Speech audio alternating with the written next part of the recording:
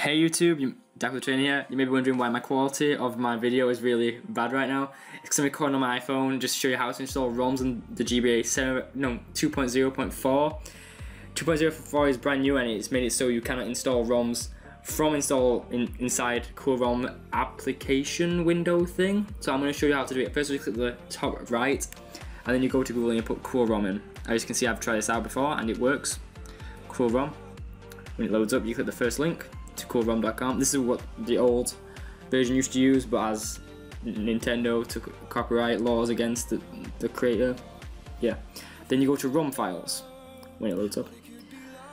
ROM files, and then you search for whatever console you want. I'm gonna go for Game Boy Advance. So when that loads up, you simply just scroll down by um, the game you want. I'm gonna press Super Mario Bros. Whatever. Add it's just a tutorial, isn't it? And uh, press download now.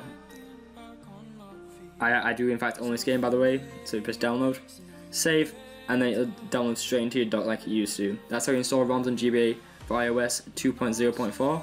I hope you enjoyed the video, and just to prove it works, I'm going to click the link any second now. Never downloads.